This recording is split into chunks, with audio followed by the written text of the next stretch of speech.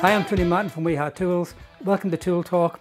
What I'd like to do now is show you some of the new tools which you may not have seen, um, which have been launched towards the end of last year, beginning of this year, and recently. Um, but due to the situation worldwide, um, we didn't have any tool fairs or place where you can go and see people.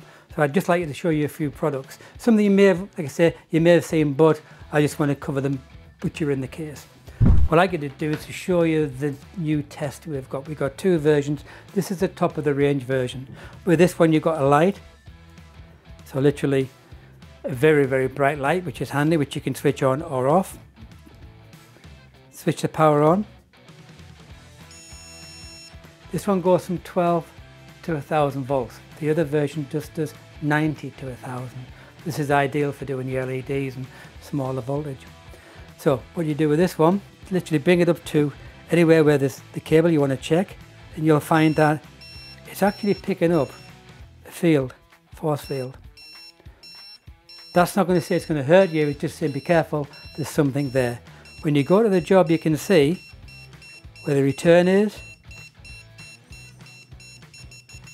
and also the live. So it gives you an idea of the three positions of your return, the power and the fact that over there there's nothing, but there's your return and then you've got the dangerous bit. Ideal is IP rated and the back battery operated. When you buy these, they do come with the batteries inside, but a little, little strip that goes on there.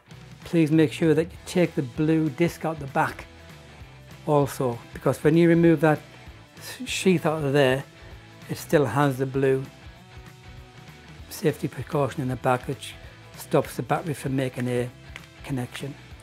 IP67 ideal.